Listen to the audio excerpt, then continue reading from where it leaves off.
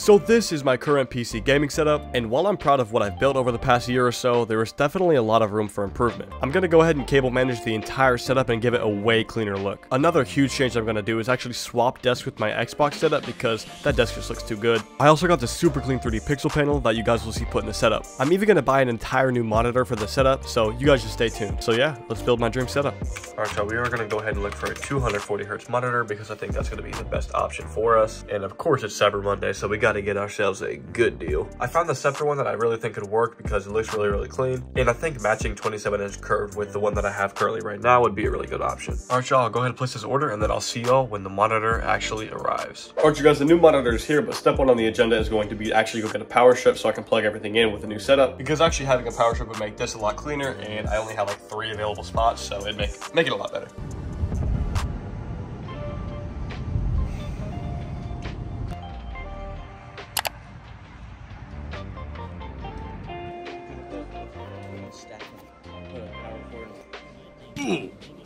Alright you guys, it's also perfect timing because something else just came in the mail, and that is our huge monitor. This thing is gonna be clean, man. 240 hertz, woo! So we have a lot of work to do, so what I'm gonna start by doing is just start literally taking everything off of this main desk and just putting other places. That way I can actually move the desks over. So yeah, I'll just start with unplugging everything and then we'll start moving it from there.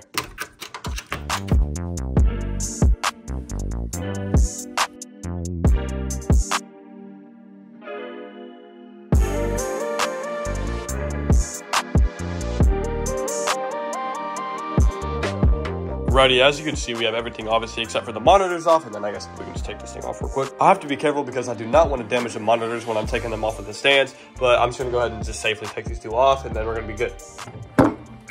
Boom. These monitor stands were super hefty, so when I was unscrewing them, it was actually a little bit dangerous. I didn't want to actually mess up with the monitor at all. I may or may not have forgot to release the tension before unscrewing the monitors, but it's okay because both of the screens are safe, and let's just continue with the transformation. Now that that's all said and done, of course we gotta hit everything with a good old wipe down. I'm kind of realizing halfway through I didn't really fully think how this swap was gonna work because this is not enough space to just move that desk over there, so. A bunch of the stuff is gonna be getting moved to the hall temporarily because I will not have enough space to work. Bruh, look at this dog. Get this out of here. Ugh. All right, guys, so here's my strategy. I got to get everything off of this as well, so a bunch of this stuff's going to be getting also moved in the hallway. And then I'll rotate this desk like over this way, and then when I move this this way, I'll take this chair outside and then push it in that way, kind of like a little circular rotation. Now I'm just going to go ahead and do like a freaking speed montage of throwing stuff on there.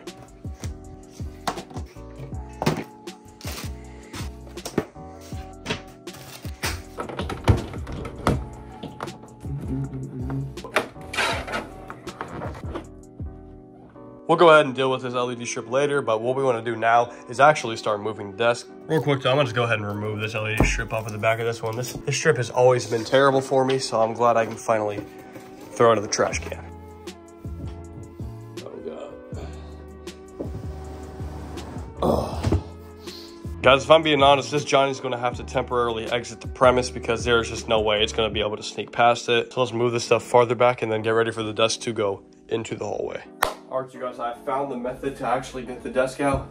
It's a little sus, but uh, it works, so. That should be good for the amount that we needed in the hallway. I can't take it the whole way out, otherwise I have to move this whole thing back in. Building a whole collection of stuff out there, look at that. Alright y'all, I had to change shirts. It was getting a little hot in here, but uh, desk is in. Next up, we gotta get this bad boy onto this wall and of course back into the room pivot. Uh, then go fix the leg. I guess I'll finish moving that and just keep doing that same process till it gets on the actual wall we want it.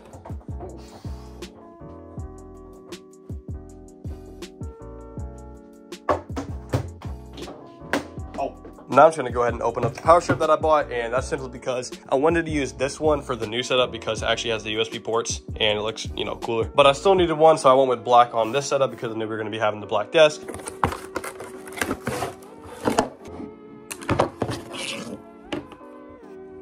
We could either use the Travis Scott box or we could use the piece of turf that's like right there. I've been trying to find something to use this for. Maybe we could cover up those cables. I was thinking maybe we could like stand it up here, kind of like a turf wall. That does not look good. It covers up the cables the best, but like, it just does not look. Okay, you know what? We're gonna leave it for now and then we'll, we'll change it later. Having the black desk here actually makes it a lot better because the cables you literally like can barely see, like especially on here. It Makes me a little worried for this one, but uh, we're gonna be able to figure it out. So now we gotta go grab our chair. That's literally all the way out here. The chair's gonna be in small mode. That way it can just go straight into the setup. We don't have to worry about it getting in the way. And now let's put our focus onto the main setup. I think the very first step that we're gonna take is actually just to cable manage all of the stuff. I'll be right back. I'm about to go get a vacuum.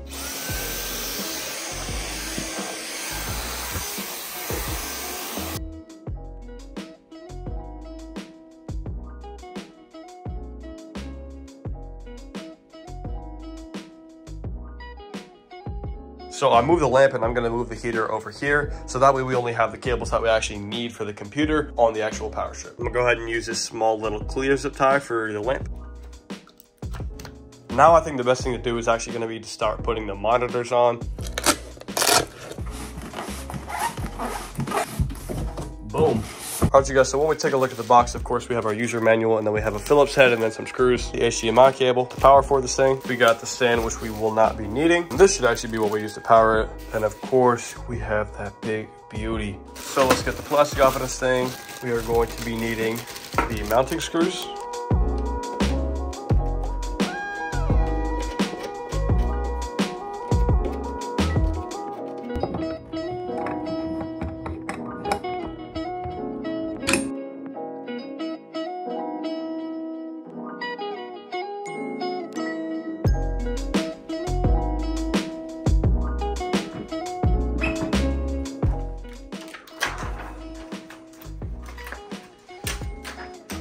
As you guys can see, we have this thing perfectly mounted. I just had to increase the tension a little bit so I could actually hold it. And now we have to move on to our second monitor. All right, so of course we're gonna grab our new mount. I guess not new, but ugh. I'm not gonna lie to you guys, right in the middle of me screwing this on, I kind of had a realization where I don't really think I want to put this one vertical, to be honest. Don't get me wrong, a 27 inch curved vertical monitor would look really clean, but I also don't really like using vertical monitors because it's kind of hard to navigate. For me personally, I really like to watch YouTube or have something on in the background while I'm playing a video game, and having a vertical monitor is kind of hard because it's only in that like top section of the screen. But yeah, I'm just gonna go ahead and try mounting it that way, and then we're just gonna see what it looks like and see if I want to keep it. All right, y'all, I tested it vertical, and I'm not gonna lie, I think this looks a lot cleaner because I have this my other screen that I can use, and of course, remember my PC is gonna be going on this strip. But yeah, I like this way a lot better. Just putting these LED strips on.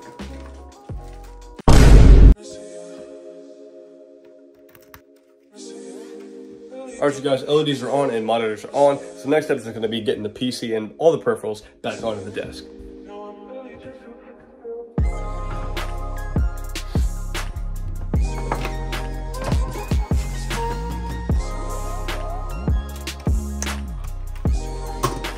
I want to go ahead and explain our sponsorship for today's video from Divoom. So this is the Pixel 64. It's a smart clock that displays pixel art animations and SNS real-time counters. So upon first unboxing, you're going to see a very clean and well-cut package, and of course with that beautiful screen. I pronounced it Pixel 64, but I think it is Pixoo 64. Either one would probably work. This might be one of the best things to add to your setup because it's so versatile and it can display quite literally any image. Whatever you set your mind to, you could put on the screen. The inside of the box has a super high quality feel, and with what it actually includes, of course, we're going to have the USB USB-C to power it. We got the box to match with that. Then of course out of the box we're going to be pulling out the user manual and this is what you're going to be needing for setting it up. Then of course the very high quality 64 by 64 pixel screen. Panel only pairs with 2.4 gigahertz internet so make sure to keep that in mind. The setup process is so simple. You just plug in the USB-C here and then make sure to plug that into the wall. Then once this configure screen is popped up, make sure to download the app for either iOS or Android to start having access to all the images. Alright you guys and as you can see we got it paired and we got these cool animations going. We got this little alien dude. What's up man? There are literally thousands of different pixel arts made by people who own them, and you can add them to your own library and favorite different ones that you want to be displayed. This is the perfect Christmas gift for if you have any gamers in your family, and I think this is really, really cool, and it would go with any single gaming setup. And if you don't want to choose any of the art animations from other creators, then you could just literally make it yourself. They have a built-in frame-by-frame workshop where you can literally create any image that you want. Like this, this is what, this is me to you guys, this is me to you. And of course, we had to pop out with your boy. That is actually so clean, bro. So yeah, thank you so much to Divoom, and uh, let's keep going on with the transformation. And I think it's best probably just end up putting it right there, and then that way it can still be pretty much part of the setup. I'll see you guys back in a couple minutes when I'm done connecting all the cables, and then we'll just go on from there. All right, you guys, everything is plugged in except for, of course, our mic that's still sitting over there. Don't worry, I'm gonna cable manage later.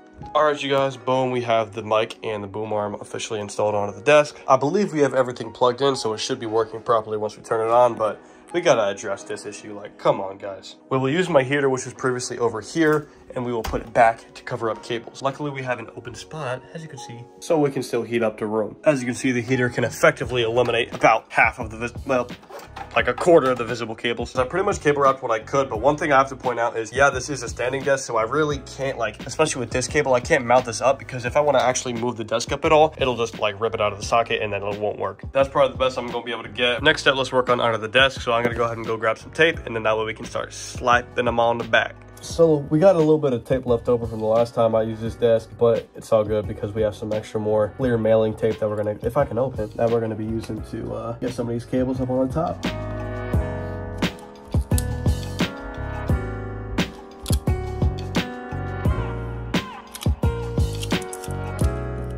Y'all, and boom, I did the best I could for under the desk, and I think honestly it looks pretty clean. One thing we can't forget is, of course, our little Alexa. This one will be going straight to the wall. Now for these two big cables right here, what I think I'm gonna go ahead and do is, at least for this one, I'm gonna pick it up and then kind of like connect it this way, and I could probably do that for the HDMI as well. I'm not gonna lie to you guys though, this is coming together very, very well.